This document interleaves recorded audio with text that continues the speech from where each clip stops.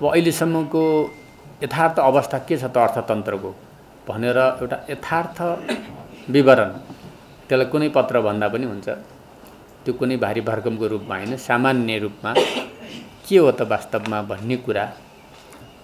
अहिलेसम्म के छ र अब त्यसले कतातिर के सङ्केत गरेको छ भन्ने कुराको एउटा श्वेत पत्र भन्नुहोस् अथवा यथार्थ पत्र भन्नुहोस् जे पत्र भए पनि एउटा तयार गरे तपाईँहरू समक्ष केही दिनमा। मन्त्रालयको तर्फबाट हामी प्रस्तुत गर्नेछौँ।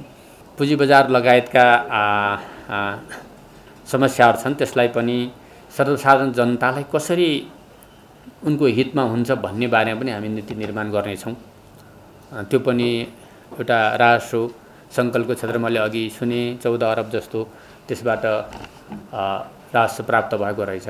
त्यो पनि महत्त्वपूर्ण क्षेत्र ती सबै क्षेत्रलाई हामी समेटेर आगामी दिनमा तपाईँहरूसँग यस्ता कार्यक्रमहरू विस्तृत रूपमा गर्नेछौँ। अहिले बजेट लगायतको विषयहरू छ अध्यादेश छ अध्यादेश सदनमा प्रस्तुत हुन्छ। सदनले नै के गर्छ भन्ने कुरा भएको हुनाले त्यो सदनको विषय नै भएको हुनाले अहिले त्यसमा सदनमा तिन गति बोलाइसकिएको छ त्यहाँ नै यसलाई टेबल गरिँदैछ।